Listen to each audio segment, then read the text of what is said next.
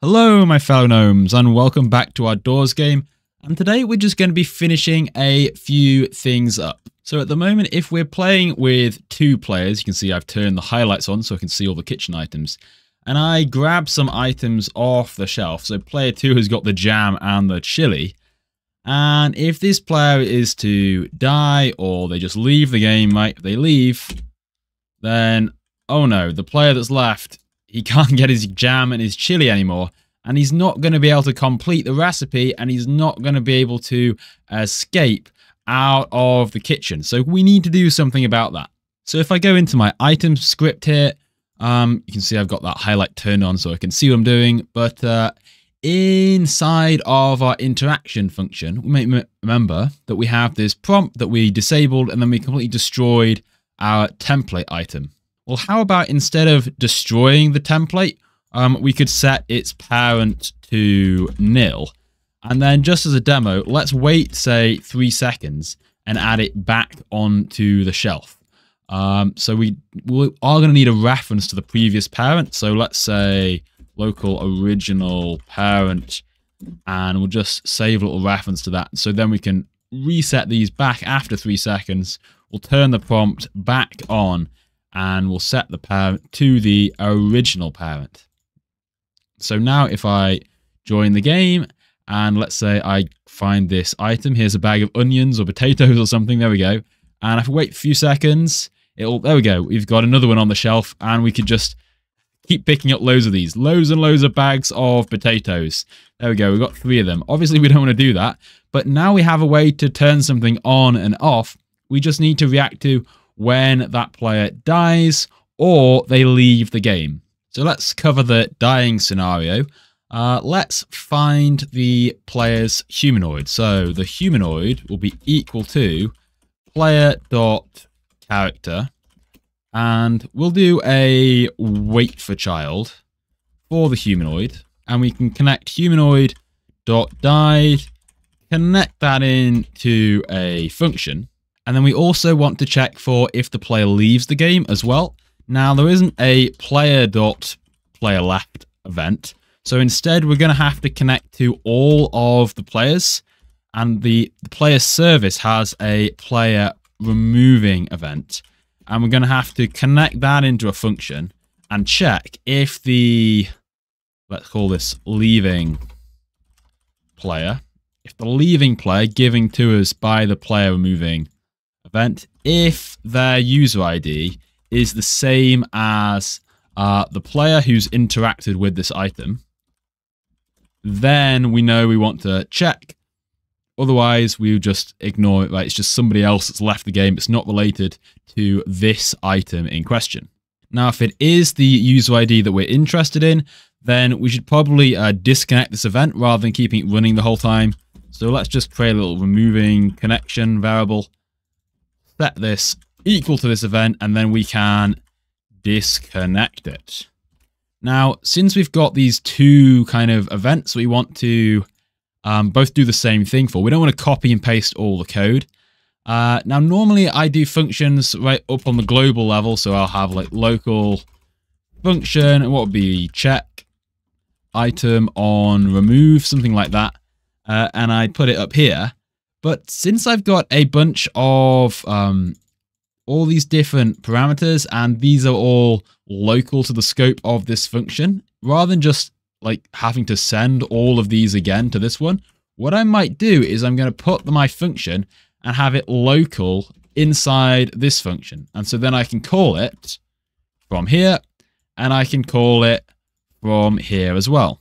So what do we want to do in our check item on remove function well we need to firstly have a reference to the tool now, at the moment, um, we're, we've set this local tool inside key and kitchen, um, but we need to sort of break out of that block. So let's have a little local tool up here, which will be set to nil. And then we'll, instead of making this local, we'll move that local. And so now we can access it down here in this scope. So we want to do that there and here for the kitchen as well. Our coin, we don't actually give them a tool or anything, so that's fine. And then inside check item on remove, If we haven't got a tool, then we will just return and we don't care, we're not interested. But if that tool, if the parent of that is equal to the player.character, so that would happen if they're currently holding the tool. Um, but the other condition is they might not be holding it, um, but it might be in their backpack. So we check or the tool.parent if that's equal to player.backpack. And if either of those conditions are true, then we need to put that tool and put it back where it was. So let's select both of these, Control X. We'll get rid of this wait. We don't need that either. And so we'll re-enable the prompt and we'll put it back on the shelf. And oh, we need a double equals there. There we go. And I'm just going to disable my local death script so that I can actually reset properly. So let's see, if I go into the kitchen and I find an item to grab, here's one. I've got some herbs, and if I reset my character, there we go, we can see it spawned back on the shelf for someone else to pick up. And we can test as well if uh, multiple players, so if I start my virtual server up, there we go, we've got two players. And if our first player goes and he picks up some chili, and maybe he doesn't even have it selected, and maybe he goes around, he, he grabs all of the ingredients and he's doing really well. But then at, at the last minute, he gets caught by the skeleton. And oh no, he's dead. Well, doesn't matter because we can just go and pick up the items again with our second player. No issue. There we go. We've got our chili and we could get our, what's over here? Some beans and some olives. And what's the final item? What was it again? There we go, salt. So we've got all of the items and we can just play and it doesn't really matter that the other player has died or left. Great. Now, talking of dead players, and let's just re-enable that script before we forget, um, something we've got to make sure of is when we've been teleporting our players, uh, like when we despawn old rooms, we move the players forward a level, and I think we also do it, um, where is it? when we start off our chase sequence with Bacon, we teleport everyone forwards and we're just grabbing the character. But what if a player has died and they've respawned back in this room? Obviously, they can't take part in the game anymore because they're going to have all this UI up on their screen. But we don't want them being like teleported around that place. That's going to be really annoying. So when we kill off the player, let's go and into our character appearance loaded, and we can grab the humanoid of them. Humanoid equals character, wait for child, humanoid, and we're going to connect this into a humanoid.died event as well. And all I'm going to do is I'm going to say player set attribute dead and add a value of true. And normally if we look in player service, we're not going to have any attributes for ourselves. And if I was to reset at some point, oh no, I've got the UI coming up, but I can disable that. So now when I disable that UI, you can see I'm actually still in the game here. Um, and if I look at my player, we can see I now have this attribute of dead equals true. Doesn't really change anything, but we can check for that now in our scripts. So let's see where we're teleporting down here let's just say in this loop, if player get attribute dead, then continue end. So we'll just ignore them. And we're going to do the same thing here and also so we don't try and teleport anyone uh, for bacon. So now if I'm playing with two players, let's say one of them goes and dies early, but then the other guy keeps on adventuring through all the levels he's not going to get teleported ahead when those old rooms get discarded anymore. So let's see, once we get into room uh, number six, and if I look back on the server, we can see it has deleted a bunch of old rooms, but our character is still hanging out here. He doesn't actually know he could move if he want to. Look, we can actually move around with our keyboard and uh, move through the door. Whoops, there he goes. Um, but it doesn't really matter because He's not part of the game anymore. He can't rejoin the action. And, well, he's probably not going to keep playing if he can just see this blank screen. So there we go. The only other thing we might want to do with uh, our game here is try and tweak some of this lighting at the moment because it is uh, very sort of bright. It's not really giving sort of spooky vibes. So we could add in a skybox for ourselves, a little bit spookier. And then maybe if we toggle some of the lighting, we'll bring the ambience down to, let's try 60. Um, and then the outdoor ambience, let's just set that to zero, which you're not going to see a huge difference. But if you're inside here, it's going to be quite a little bit darker. In fact, we might need to add a little um, light inside of the spawn location, like so.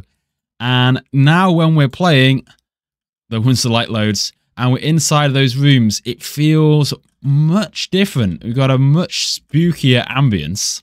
And now I really feel like I am playing in a horror game with these much richer tones. Really nice. And at this point, we really might as well go and delete the base plate because that's not doing anything for us at this point. We don't need it. So let's just remove it from our game and we've just got this little strange, mysterious box in the middle of nowhere. Now, it's just occurring to me, one thing we need to check is in our server script, you might remember we changed our door opening, or, or specifically for closing, actually, we did this. And we used collection service to get the door to take account of different types of doors we have in our game. Because at the moment I have two, just a door and a kitchen exit. I might want to add more later but they're not just called door. And if I look inside bacon or my shadow module, I'm just expecting there to be something called door. So instead, let's go and make sure we're using collection service at the top of our bacon script. We are cool. And then instead of doing this whole thing, let's write out something new. Let's get a list of all the doors in the game. So local doors equals collection service get tagged door. And then I'm going to determine the action to send to the event. So the action is going to equal whether the i is less than the max num, then we don't want to send anything at all. So basically we can say if it's greater than or equal to the max num, and really it's only ever going to be equal to, so if it is equal to, then we will use lock. Otherwise, it'll just be a nil value. And then let's loop through all of the doors. So for IV indoors do, and we'll find the door. So now it's V, whose parent is equal to the room we're inside of.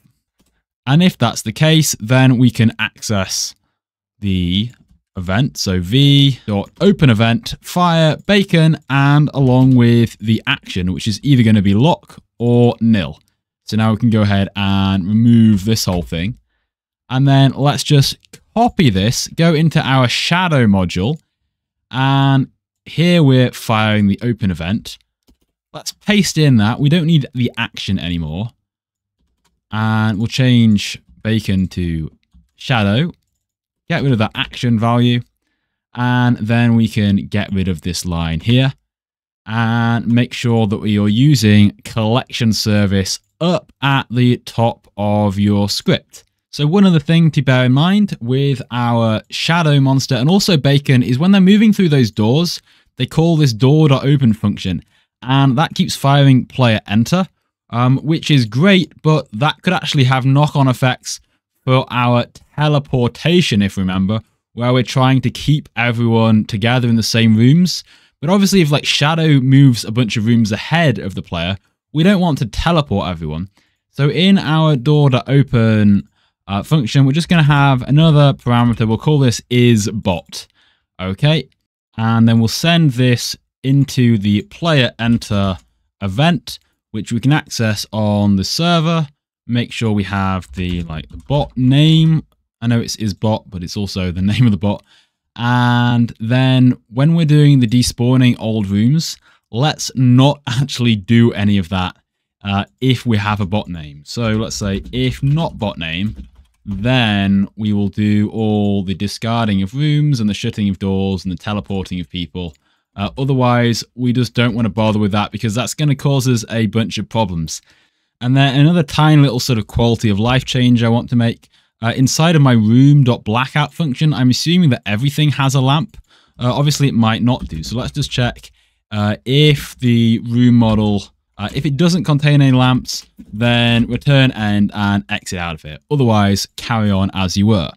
So if we just play through this now, let's do it a little test. Moving through room one into two, and I've set it up so Shadow will come along at room number six, a long corridor, and the moment we get into this room, oh, here he comes, quick, quick, quick, quick. we were actually too slow. Maybe that's something to tweak later, but if we head on to the server, um, we can find the point that uh, Shadow came through. Look, he came through all these dark rooms here. And we can see, that's where I got killed, just here, by this very closet, that we haven't um, like tried to teleport anyone forward or like despawn any of the rooms which would be getting in the way. So there's our character, and he has the game still to play. We have the game to finish up. I think it'd be nice if we had maybe a spectate system to keep him busy while he's in here.